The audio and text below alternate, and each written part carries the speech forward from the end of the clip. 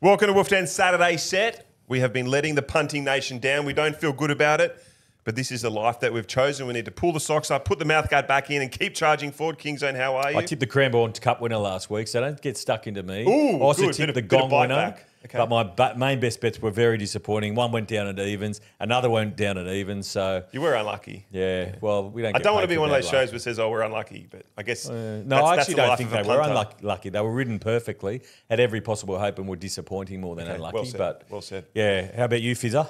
Yeah, mine just halve their price and then lose. So what, what do you do? You just Keep gotta, betting. You just got to keep betting. I did tip one winner and it was two forty out to four dollars. So it's bizarre. The betting's just got me dazzled at the moment. We'll be right. Big we'll be goes right. have been losing. Um, just a little bit of housekeeping. Firstly, our friends at the Melbourne Racing Club done it again. Free tickets to Caulfield. It's a little bit confusing because the Sandown Guineas and the Zipping Classics at Caulfield, but they've called the race day Saturdays. They've got lots of DJs. It looks epic. It's something you'd like, Fizzy. You love you love all that kind of stuff. I think that's more your go, mate. go to dance parties by yourself. So we'll put the link in. that is true. Uh, we will put the link in the description, and all you have to do is hit it. You get four free tickets. Head out to Might just be Caulfield. three tickets now because you're already going to take one. Dance parties. Yeah, okay.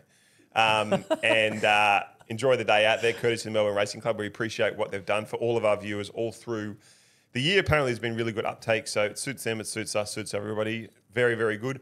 Let's talk about those feature races at Caulfield. The Sandown Guineas, Group 2 for three-year-olds, 1,600 metres. Fizzer. Arkansas kid. It was a leader's bias, I think. Last time it ran over 1400, came from worse than midfield, ran on nicely. Looks a good setup. Happy to be on it. As a, is that an official Saturday set tip or just an No, overlay? just just the you the, the race that one. Great. Um, I, th- I was a little bit against the fizzy here. I thought Arkansas Kid was a little bit too short at two dollars thirty.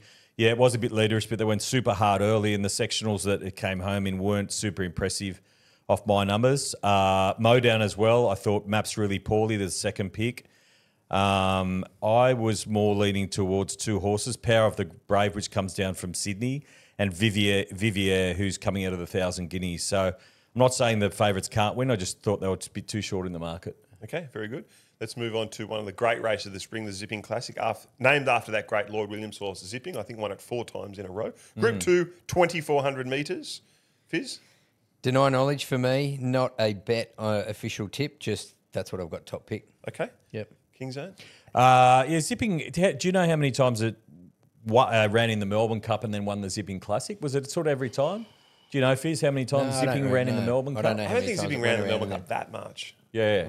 I think I think even in later years, possibly they just ran in, the, they, they forgot about the Melbourne Cup and just ran in the, the what was the Sandown Cup or whatever it was called. No worries. Yeah, I haven't looked at it, but the reason I'm asking is because I like two horses coming out of the Melbourne Cup. Okay. The top one, Vow and Declare, uh, which ran ninth in the Melbourne Cup, was but was flying, absolutely flying prior to that. Uh, the other one I like coming out of the Cup is Serpentine, which didn't it failed in the Cup, um, but it's been a bit of uh, time in between. Fifteen dollars looks a good price to me, and the other one is Banker's Choice, which is going to twenty four hundred for the first time, um, but looks good value at around the ten dollar mark. Awesome. We're going to move over to Perth, the Winterbottom, Group 1, 1,200 metres. What are we thinking, Fizz? I think Kings and I found one of the same horses. Anyway, I've got Overpass clear. Um, it's coming out of much stronger races than this. It won it. I think it won it last year. And um, yeah, they're gone over there for the kill. Bjorn Baker and Josh Parr again. Barrier 11's no problem. She'll push forward. And um, can't. Yeah, very hard to go past. Cool. Yeah, I'm with Fizz. Overpass, an official Saturday set tip for Official. me. Yeah, I'm going to have a good bet on Overpass. I saw Ladbrokes leading the way at three dollars ten, which they've been taking taking me on a fair bit lately. Which Yes. I don't know if it's just Been the talk, coincidence it's or been the talk of Twitter. yeah, oh, has it? I'm not on Twitter, but yeah, interesting. Uh, the one the Quokka fits. Yep. Don't know if it did win the Winterbottom last year as well, but I know that um, Overpass. that what won the it was, We the should Yeah, know. Amelie's Jewel was we took it. favouring it. Right. Yeah. Uh, and yeah, has trialled since failing in the Everest. The other two, which are right on their price, and I thought were the dangers for exotic players, were Red Can Man and also number four, uh, Hot Zed. Cool. Well, you've got the momentum, so why don't you continue with your Saturday set? Uh, yeah, right. I know worries. Revolutionary miss in Caulfield, race nine, number one. There's not much pace in this race. Revolution, as drawn out in 10, should have the speed to cross and control the race. Very, very consistent horse in this grade. It's a group three, but it's a really, really weak group three. So I think is around the $3 mark at the moment. Um, then we're going up north, up to Doomben on a heavy track. Race seven, number three, Abounding. Went to a new level last start. Has had a little bit of a break in between runs, but if it does what it did last time, it will be winning this race. And one of my favourite horses as well, which is back up on his uh, home turf, Rothfire, race eight, number one.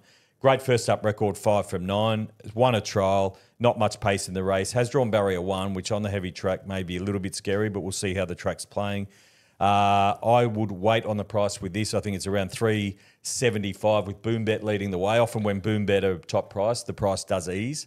So watch out for that as well. So heavy track, barrier one, 61 kilos. I'm going to wait on the price, see how the track's playing. But if it's leaderish, just jump on straight away. Those are my three. So four official Saturday set tips. My confidence levels are high. Over to you, Fizz. Yeah, I think it'll be dry by the time they run in Brisbane on the weekend. From what I looked at, it's about 33 degrees every day and no rain, so should be all right. But I'm going to start in Ascot race four, number two, horse called Mungo Jerry. It's the final of the um, of the country championship sort of final over there. Pike rides. It's barrier 14. I think it'll sit outside the leader. Should give us a run for our money. I'm going Pike again. Race eight, number seven, Duchess of Gossip. He got he got he fell back onto the inside and got, ran into the arse of horses last start. Was pretty unlucky. I th- I don't think he'll make the same mistake again. I think he'll sit third or fourth and win. Um, I'm going to Doomben, race three, number 14. I am fearless. It's a country stampede final. Barrier two looks to sit on speed. Good bet for me. Um, race seven, number three. I'm I'm with Kings Abounding. Although it's on the drift, uh, I just think they had a little a tick over trial. Ran sixth out of six in the trial, but it didn't worry me. The trial looked all right. Um, I think if it if it does what it did last start, it'll be winning. Morphettville race four, number five, Aruga Mama was on it last start. I can't see it getting any harder run this start. 1950 metres, same as last time. I think it'll be winning. And then one of my really strong bets, race 10, number nine, Clabel. It's first up, trialled well, out $4. Good price to have a crack at. I'm in, interested in it. And uh, that's it for me. Which is the best fizzer? Oh, Clabel's probably my biggest bet, and Duchess of Gossip, they're my two. Okay, excellent. Um, content, bit of content going on at the moment. You hmm. watched the Kris Lees' podcast last night, I think. Yeah, said you enjoyed it? fantastic. Yeah, he spoke very candidly about a lot of things. Samantha Miss I found really interesting as well as a lot of the old stories. Lusk and Star, no, he's great. Yeah, it was really good. So And thank you very much for coming in as well, Kris. Really appreciate Yeah, it. Yeah, it's amazing. People are so giving with their time, which allows us to make the engaging content that people like. So if you haven't watched that podcast, go check it out. I drove down to Kembla Grange yesterday to visit Mitch Beer and the horse suspect, which some of you might know. Mitch Beer offered a horse suspect for people in the den to get involved with. Quite a few of us did. We drove down there yesterday to check out suspect in his new home and did a podcast with Mitch. Really cool. He's a very funny guy. We'll drop that probably a, mm, maybe about two weeks from now. Also, next week, um, we're going to do a Wolfden University. We're dusting off the Wolfden University brand, and we're going to do it for the Interdominion. Uh, Okay. Ryan Spice, who's a, a very good trots and pacing judge, is coming down from Brizzy to spend some time with us, and we'll put a lot of effort into it simply to try and help everyone out there improve their trots and pacing punting. I don't punt trots, but I imagine that the mapping would be super important. Hmm. If you're back on the fence there, it'd be so hard to get out. Yeah, and I believe you might pop into the den on Tuesday night when we start doing our, when we have our first lecture. To you're always a student, aren't If you? I'm coming in, I am betting. well, that's right. That's why we want you to come in. Yeah, good. Yes. Well, I will be. I'll be here. I'll be betting. Heats night, is it? Yes. Okay, cool. Yes. Um, and then we're going to back it all up on Interdominion final night with a live stream. Um, it's going to be called the Wolfden Christmas Party. I don't think you're going to be here. I think you, you have another commitment that night. So um, that's that's the content wrap. The comps are running, of course. Make sure you play them. Thursday, Greyhound God tonight, thousand Yeah. bucks. Then tomorrow, Friday night racing. I'm not sure exactly where it's at. Yep. And then Saturday, uh, two thousand dollar comp on Saturday on the uh, two main meetings at Caulfield, and also in Sydney at uh, Randwick or Rose Hill or Wollongong or Newcastle, wherever they're on. Excellent. I haven't got round to it. Fantastic. So that's the wrap for the week. How good's the punt? Even when you're losing, um, we still love it. This is life we've chosen, as we said. Yeah, well, update on on my punting. I've turned things around a little bit. I've lowered my limits, and whenever you lower your limits, you start backing a few winners. So I have stabilised things, turned it around, and onwards and upwards. And it's a slow, steady march back. It's a grind. It's not. Yeah, it's not going to happen. You're not going to turn this around for quite some time, are you? No, I'm going to grind my way out of it, and that's when I'm at my best. I love grinding, grinding these bookies into the ground. That's, what it. I do. That's it. Up the den. See you next week. Think: Is this a bet you really want to place? For free and confidential support, call the number on the screen or visit the website.